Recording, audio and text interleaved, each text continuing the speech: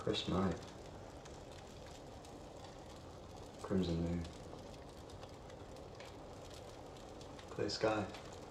Stars in full beam. Breath. That's how it started.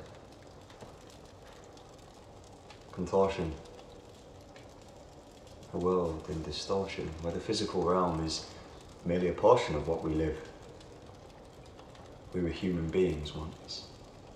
The most savage species of animal, roaming the seas in search of spices, residing in unknown empires and civilizations, building incomparable structures, erecting libraries of unimaginable knowledge now lost and burnt to precious ash. Remains never more to be adored. Shadows of what once was. Many times we've attempted greatness, achieving nothing but divine failure and bloodshed. We were humans once.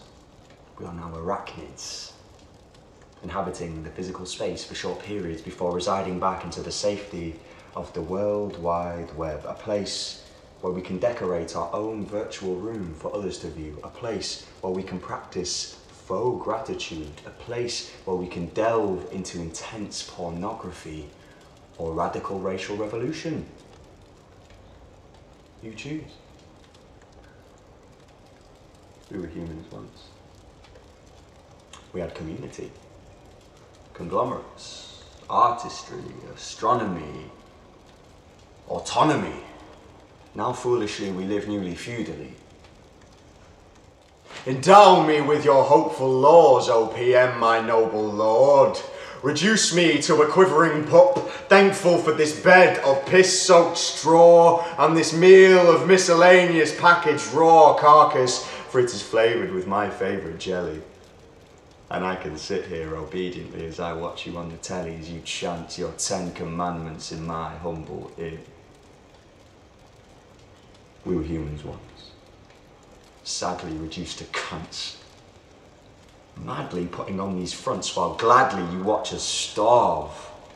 Praise black stars till they demand back half of what was taken. Respectfully, they take a knee and they're cascaded with flames of booze and cheers.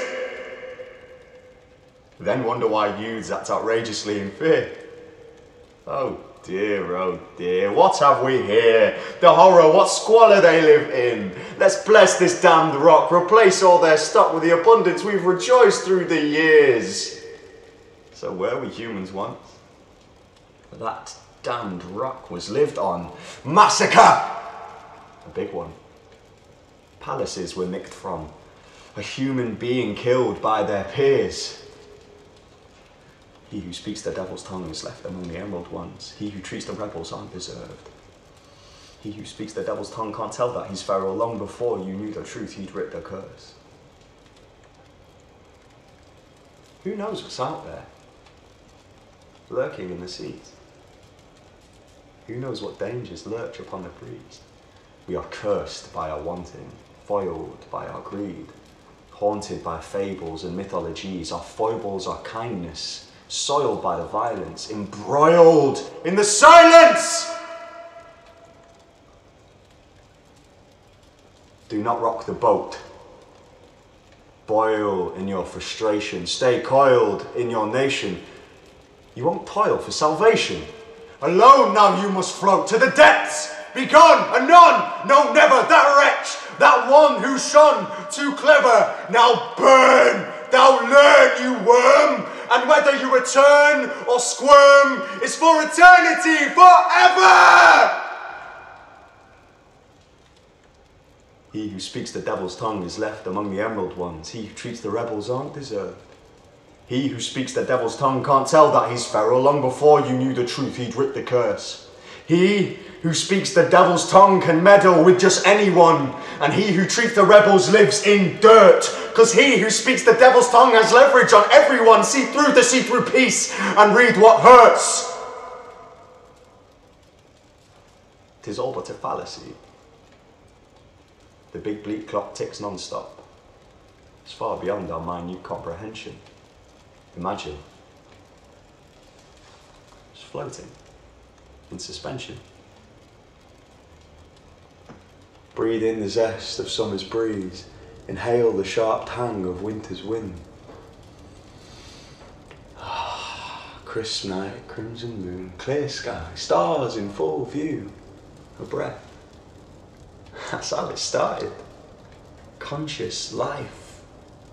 A physical membrane. A fragment of space. A pigment of the universe. An enchantment of what once wasn't.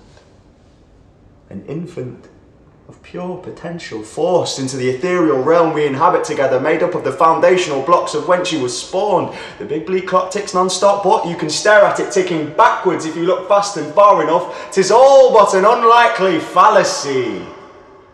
So, when life gets beyond your minute comprehension, when you feel like a Reckless, restless mess, feel frets in the depth of your chest, the inconsolable eroding of a lifetime of stress. Step outside, take a breath.